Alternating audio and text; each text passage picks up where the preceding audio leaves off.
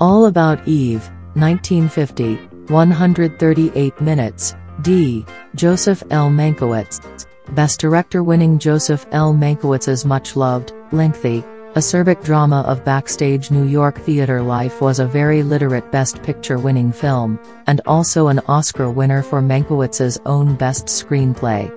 Wit and sarcasm reigned supreme, for example, fasten your seat belts.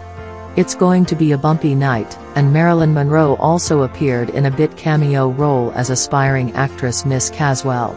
As the film opened during an awards ceremony, a rising, unscrupulous star known as Eve Harrington, Oscar-nominated Anne Baxter, accepted the Sarah Siddons Award for Best Actress of the Year on the Broadway scene. In flashback, it was then revealed how the shameless young starlet had insinuated herself into the life of her idol, Margo Channing, Oscar-nominated Bette Davis, an aging, bitchy accomplished Broadway stage star.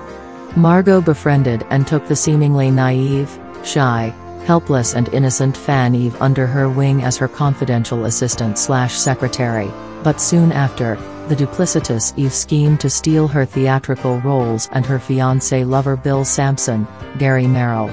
By ruthlessly exploiting the older woman's kindness and hospitality, Eve managed to achieve her present success while almost destroying the veteran star in the process.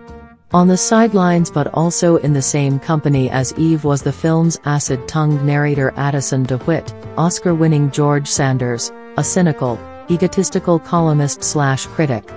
As Eve's conniving ways were revealed, she became Margo's understudy, and then orchestrated Margo's absence by stranding her out of town, so that she could take her place and receive accolades from NY theater critics. She even enlisted the aid of Karen Richards, Oscar-nominated Celeste Holm, the wife of the playwright Lloyd Richards, Hugh Marlowe, and was able to aggressively manipulate him away from Karen to provide her with a new play.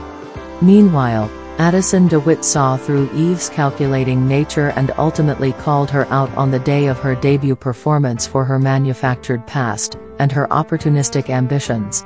The ending of the film returned to the awards banquet to find the starlet clinging to her trophy.